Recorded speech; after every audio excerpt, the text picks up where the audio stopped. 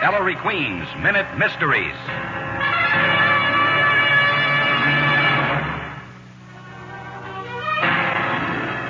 This is Ellery Queen with a case I call the rocking chair fraud.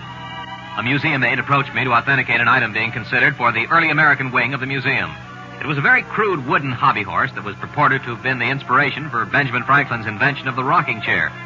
What does the seller want for this antique hobby horse? I asked. The aide replied, Really more than we want to pay. Then don't, I said. It's a fake. In a moment, I'll tell you how I knew. In the case of the rocking chair fraud, the first hobby horse wasn't made until around 1800. Franklin died in 1790. Pretty difficult to get inspired when you're cold in the grave. Listen again to Ellery Queen's Minute Mysteries.